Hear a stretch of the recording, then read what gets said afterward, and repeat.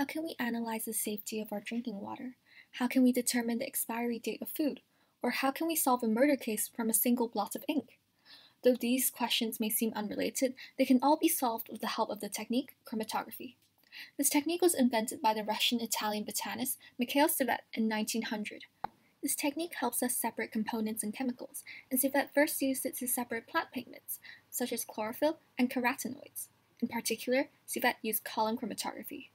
In column chromatography, certain chemicals, sand, and the sample to be analyzed are added into a glass column. Some components of the sample flow faster than others, and therefore the different components of the sample are separated.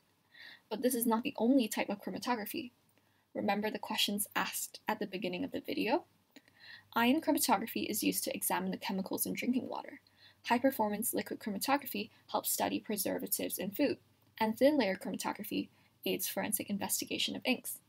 These techniques all serve a similar purpose to separate and determine the identity of chemicals. However, other reputable scientists did not acknowledge Tsvet's works. For example, in 1912, the Nobel Prize winning chemist Richard Willstatter and the biochemist Arthur Stoll had published an article together denying Tsvet's technique. This was because they had failed to replicate his experiment, as they had used a strong chemical that destroyed the chlorophyll. But unfortunately, this discovery was only made years later, so Tsvet was not recognized for his invention in his time. And in 1919, he died due to a chronic throat inflammation. Chromatography was only revived in 1930 by other scientists, 10 years after Tsvet's death. Though Willstatter initially denied chromatography, he went on to develop another type of chromatography, paper chromatography. Today, over a hundred years away from the year of invention, chromatography is still being used in a wide range of industries.